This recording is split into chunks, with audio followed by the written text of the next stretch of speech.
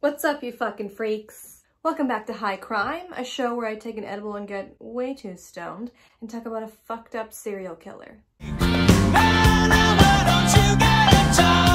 Today I have a really special treat. My friend Will made these chocolate bars and they are delicious. Thank you, Will. I took two last time and that was, so I'm gonna do three. Here's one, two, three. They're so good. Like if this was real chocolate, I mean it is real chocolate, but like I would eat a lot of this if it weren't drugged. Do I do four? I'm gonna do three for now. Fuck it.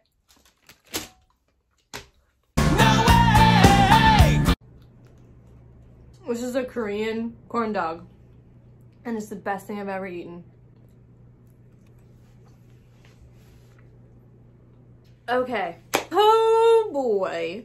Feels good to be back. It feels right. You guys, am I framed? I don't know. This is on an iPhone. I have never laughed so hard researching a killer before. And that sounds bad, but here's why. This guy is the biggest tool to ever happen to tools. Today I'm going to be covering Mark Twitchell. Mark Twitchell's Mark Twitchell was born in Edmonton, Canada. Jesus Christ. in Edmonton, Canada on July 4th, 1979. And apparently Edmonton is a terrible place. They call it Deadmonton. If any of you are Canadian out there and have been to Edmonton, I'd love to hear more about it. Also, I just would love to know more about Canada. You are a fascinating people to me. You are all so polite. I think it's really weird. I think you should cut it out. So, unlike most serial killers, uh, Mark is his name, was born into a very loving, stable home. They were very supportive and kind. Uh, they even paid to have his big ears pinned back. If your parents aren't paying for your plastic surgery, do they really love you? I don't know. My mom offered to pay for my nose job when I turned 16 because she said that I had my dad's nose. She's gonna hate this. Mark was a lazy liar. Mark was a lazy, unreliable liar from the get. An old classmate said about him that he was the guy in the group project that didn't do anything and he would like always make up these lies and excuses for why he hadn't done his part. Nobody likes that guy. Don't be that guy. This is not framed. I'm freaking out. I'm a hack. I can't tell if I'm in a good mood or a bad mood. Does that make sense? He also had a trait that I guess is super common in psychopaths. Um, he didn't have a sense of smell. I no, what? What? That's not coronavirus. You're a psychopath. So I believe in college, he decided he wanted to be a filmmaker and be the most respected filmmaker ever. Douchebag. He was obsessed with Star Wars, like obsessed. He got a vanity license plate that said DRK Jedi, Dark Jedi. This man is a human fedora. you can picture him right now. Pear-shaped body, nothing wrong with that. I love a dump truck ass on a man. He thought he was God's gift to the world to film and women. And you know what? We all have thought that at one point in our lives. I think it right now, I couldn't be drowning in more pussy. You know what I mean? It's like enough pussy. I'm up to here with pussy. Just like, what is happening to my brain? He loved Star Wars, but he loved the prequels. Okay, strike one. So when everyone was lining up for episode one, Mark started to auction off what he said were actual concept art for the movies. And he showed it to a friend and his friend is like, clearly these are not real. And Mark was like, what are you talking about? Of course they're real. Look at this detail. And he's like, no, dude. And then they weren't friends anymore. And he loved cosplay. Um, I think cosplay is fucking dope. You guys who do it, you are so talented, but he was way too into it. He made very elaborate, ornate costumes. He was Darth Maul one year, of course. Every Halloween in Edmonton, there's a Halloween costume contest called The Howler. Let me say it in my Canadian accent. The Howler. and he won with this massive, like seven foot tall bumblebee costume. And he thought he was the shit. He's like, I fucking won that. I won $3,000 and a Harley Davidson. Okay, yeah, that makes sense for sure. So he was an online dating aficionado. He loved to go on the dating websites. Specifically, I think Plenty of Fish. So he met his first wife, Megan, on a dating website. Um, and they quickly got married. And she said that he was charming and creative, but there was one moment that stuck out for her where they were just like hanging out, talking about something, and all of a sudden he was like, Have you ever thought about killing someone? And she's like, I mean, I guess, like, yeah, everyone gets angry, but like, am I gonna actually kill someone? And he's like, I've thought about it. I think about it a lot. I would get a homeless person because no one would miss them. And she's like, all right sick, man. That's awesome. That would be, mm, listen, I've looked past some red flags in my day.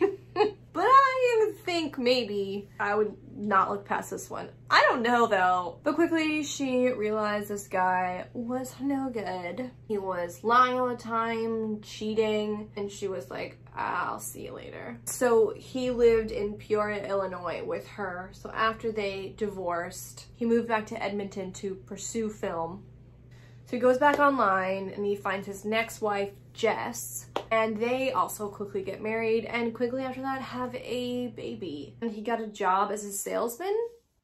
I think this, I don't know when this was, but he, at some point he was a salesman and he was a pretty good one actually. Um, it's a perfect job for psychopaths. But at some point with Jess, he quit his job to pursue filmmaking full time but he didn't tell his wife about it.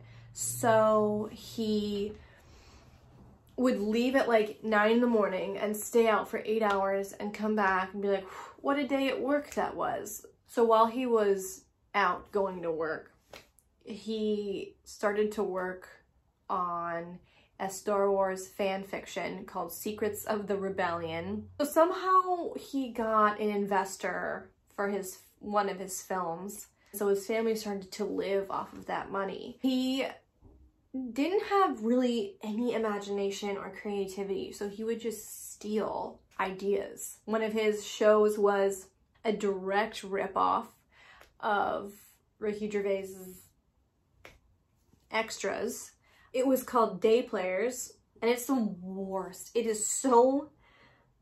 Then at some point he made a movie called House of Cards, um, and it was about a serial killer that lures in cheating husbands from the internet. It is annoyingly autobiographical. Again, no imagination. And at one point, one of his friends introduces him to Dexter and he becomes obsessed with it. He wants to be Dexter.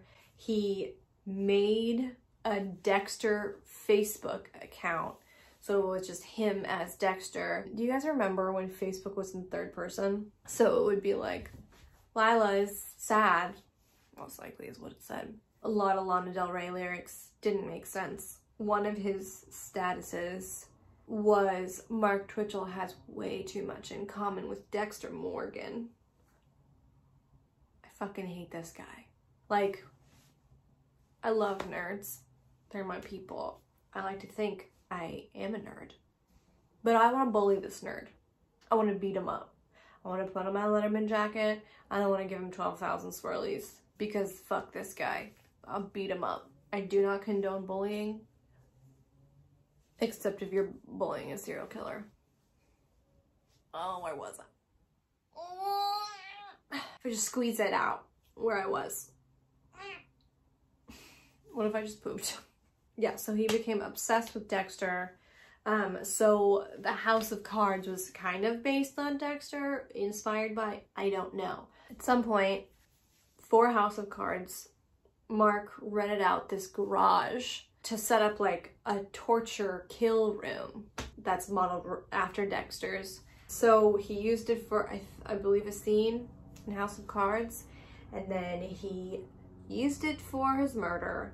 And I don't know exactly when he decided to kill someone. Does that make sense? That make sense at all?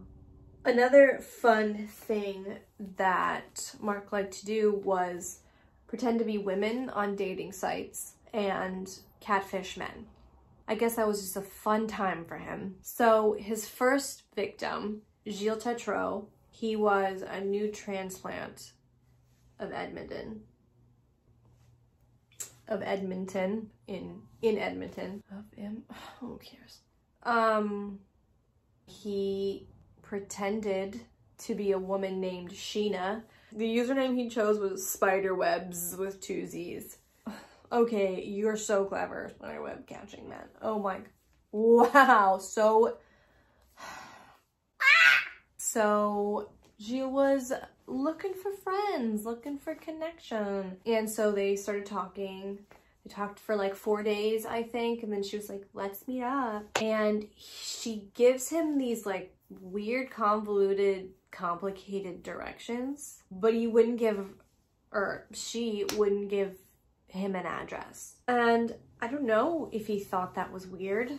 I would, definitely. They mentioned something about an alley, which is super chill for a first date. And then it says to like go through the garage, like I'll leave the garage open, go through there, through the door. So he gets there and goes underneath the garage door and it's like dingy and dark. Gilles starts walking over to the door and like right as he got there, Mark comes up behind him and starts poking him with a stun baton.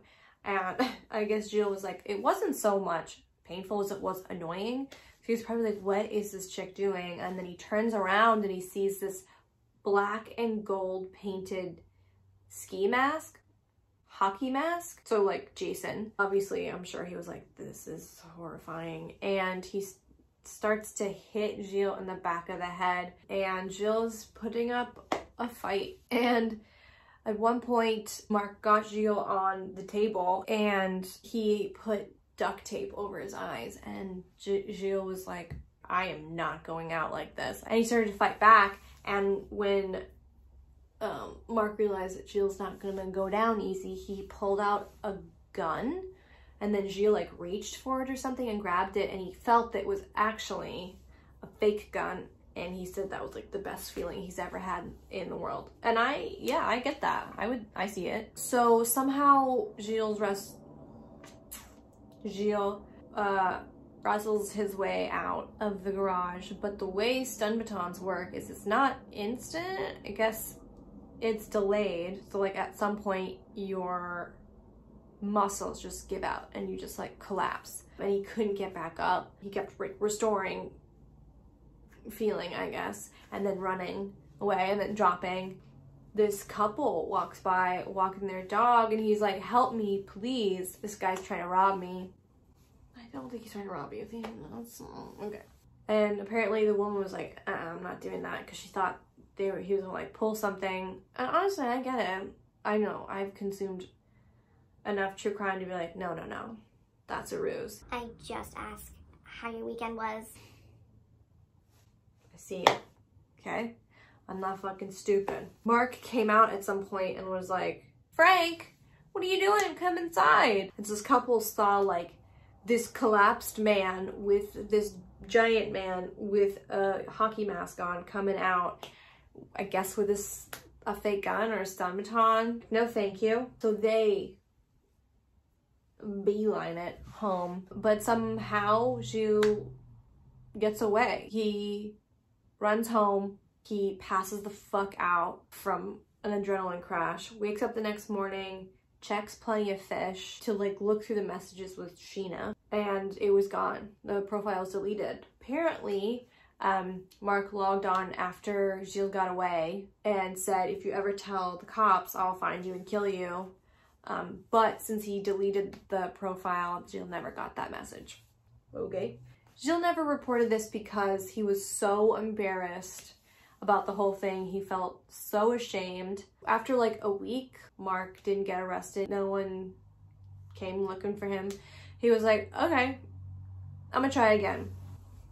This time it was Johnny Altinger. Mark lured her in with, again, a fake dating profile. I think her name was Jill. Let's call her Jill. Again, she's like, do you want to meet up? And Johnny was this like lonely, sweet guy and was like, yes, absolutely. Please, I'm looking for love. And again, with like the weird directions, unlike Jill, Johnny told his friends where he was going. So he told his friend he's he's got a date tonight with this new girl. He tells him about the directions. It just, his friend was like, oh, this sounds weird. Like, oh, sounds sketchy. When you get there, text me the address. So Johnny drives over. So he goes into the garage and Mark is there, just normal Mark. And Johnny's like, is, um, Jill? What's her name? Jen. Well, now I don't remember what I was saying. Ah. And he says, Jen is stuck in traffic. If you want to hang out here, you can. She said she'd be here any minute. So Johnny was like, okay, and I think hung out for a second, and Mark even like fake called Jen to see where she was. After a while, Johnny's like, I'm, I'm gonna go home. So he leaves, and then like a few minutes later comes back, um, and is like, actually, I'm gonna wait it out. And then at some point he leaves again. He's starting to feel really weird about the whole thing, and he's like, I'm gonna go home. Uh, and he goes home, he gets online, messages Jen, and is like, what happened? Where were you? 20 minutes later, he gets a reply that's like, I'm home now. I'm so sorry. Come back over if you want, but no worries. And he goes back over. He just was looking for love. My heart. So when Johnny went back over, he went to the garage and he saw Mark and he was like, and then Mark hit him over the head with a pipe and Johnny was fighting back, but ultimately Mark overpowered him. He stabbed Johnny in the throat, um, beat him over the head until he died. He then dismembered the body and he like was playing around with the body. So he like disemboweled him. He decapitated the head and was playing with it, like made it talk. That's not funny.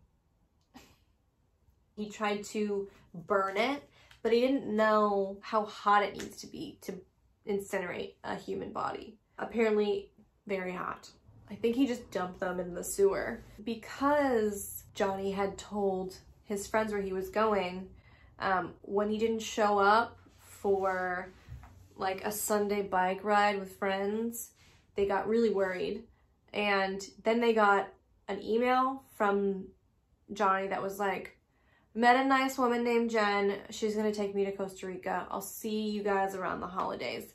And they were like, what? Absolutely not. Johnny was like very much a planner and like, um, like,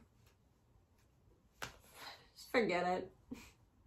So they went to the police and they were like, it's fine. Like he says here, he's just going to get, chase some tail.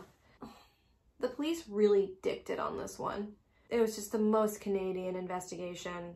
Again, no disrespect to our neighbors. Um, and his friends then break into his apartment. They find his passport and they're like, if he left the country, he would need his passport. So they bring that to the cops and the cops are finally like, fine, okay, we'll do something about it. They trace it back to that garage and they check on who rents it and they see that it's Mark Twitchell. So they call him and they're like, when was the last time you were in this garage? And he said, October 3rd, October something. Johnny was killed in November, I believe. Mm. And Gilles was attacked sometime in October. No, no, no, that doesn't make any sense because he was. I don't know. And they were like, Did you see maybe a woman there with him? And he's like, No. I believe they bring Mark in. Yeah.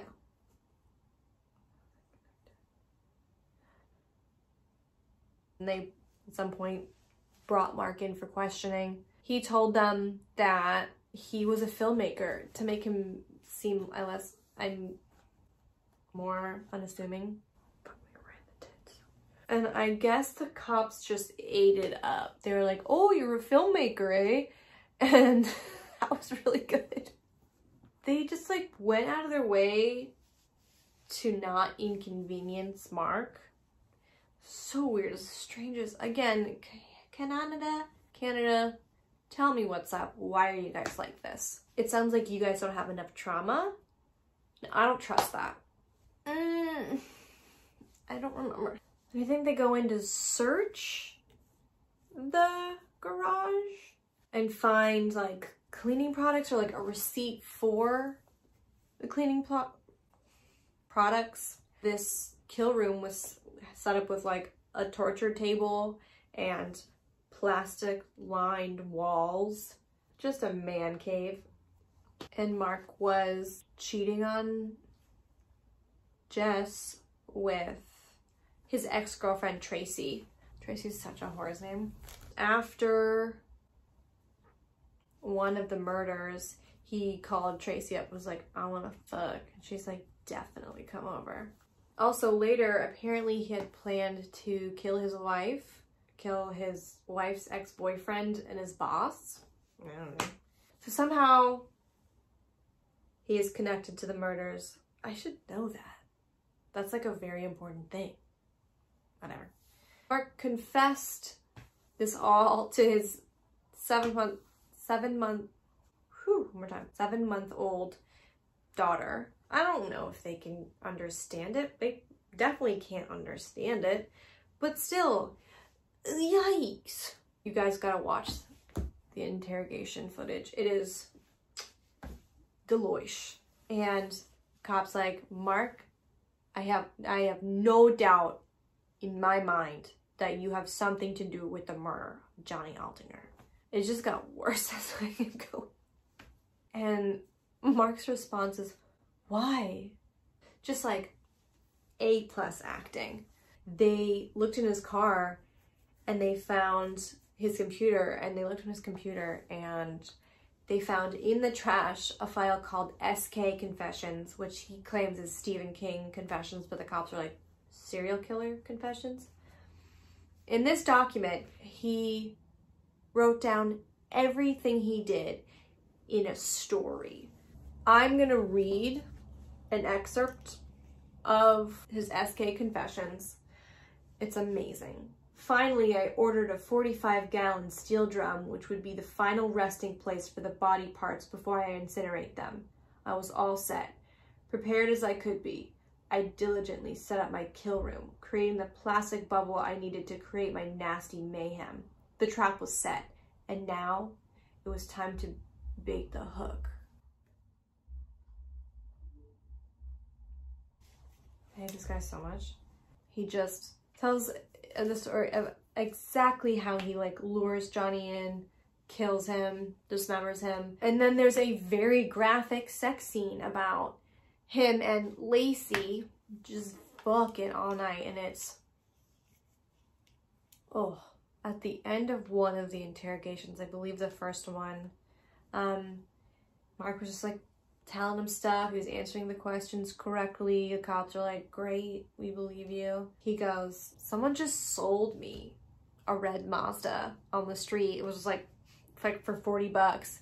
And it was Johnny's red Mazda. Um, so the cops were like, why did you tell? Okay. So he tried to get ahead of the investigation. It's like, you're so dumb. They, at and he, I guess, was let go.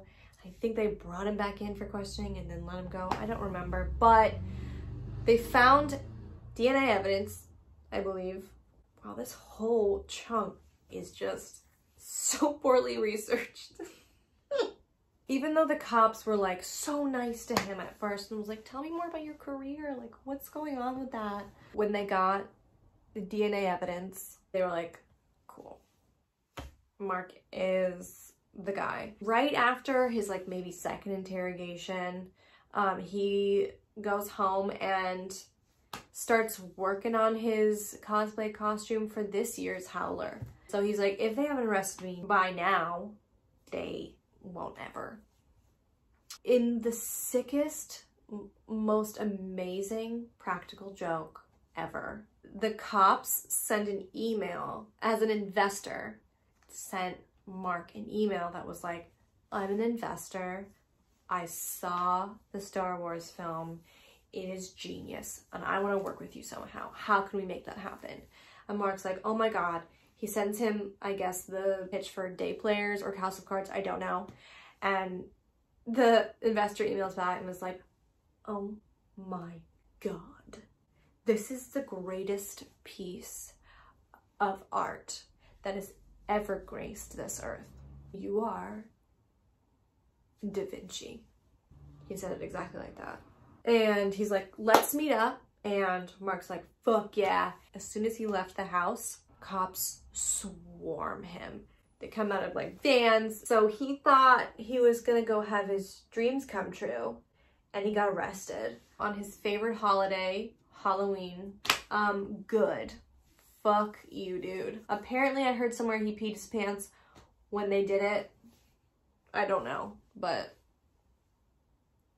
but he refuses to tell them where the body is. There is footage of this interrogation. They're in the car and the cops are taking him around, being like, where is this body, Mark? And the cops are pretty much mocking him uh, for being a filmmaker. They're like, if you tell us where the body is, it's just, I lost it if you tell us where the body is, this will be a great part in the next movie you're gonna make when you get out of prison. Wouldn't this be a great movie? And they're just kind of like, and Mark is just like looking out the window and doesn't say a word. So he has never given them the body. And then at some point during the trial, Mark was like, well, Johnny came after me, so I had to protect myself.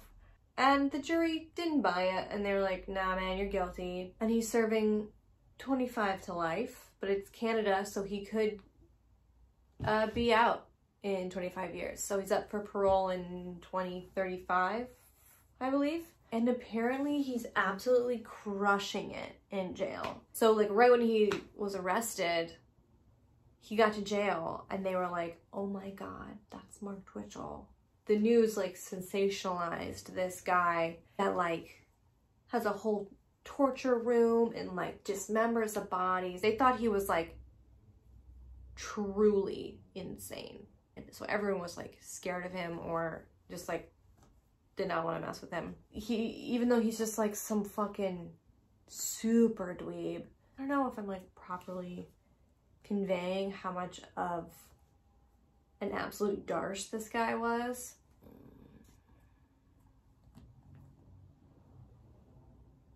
Is that it? I don't know. Definitely not. I don't know if I got any of that information right. Who knows? I did it. I nailed it.